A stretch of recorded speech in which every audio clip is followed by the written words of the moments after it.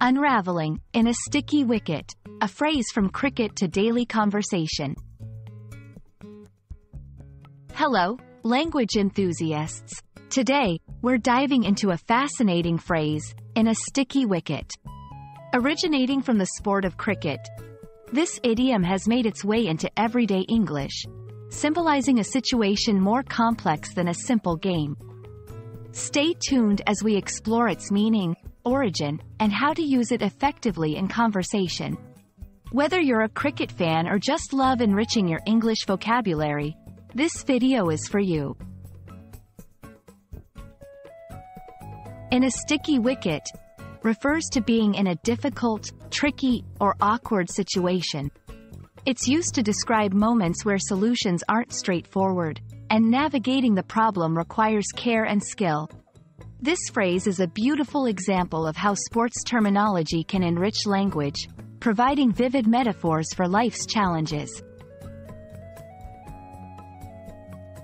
The term wicket in cricket refers to the pitch, or the area between the sets of stumps. Historically, if the pitch was damp, often from being uncovered during rain, it became sticky, making the ball behave unpredictably. Thus, batting on its sticky wicket was a significant challenge. Over time, this literal challenge translated into a metaphor for facing difficult circumstances in general life. Incorporating in a sticky wicket into your conversation is a great way to add flair and imagery to your speech. It's perfect for situations where you want to express the complexity of a predicament without resorting to cliches. For example, trying to negotiate that contract was like being in a sticky wicket. With the project deadline approaching and the team member sick, we're really in a sticky wicket.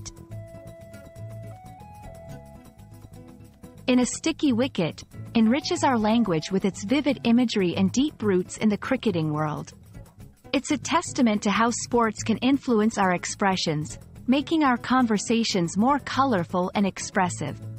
Whether you're discussing a challenging project at work or navigating personal dilemmas, remember this phrase as a tool in your linguistic arsenal. Happy conversing, and may you navigate every sticky wicket with grace and ease.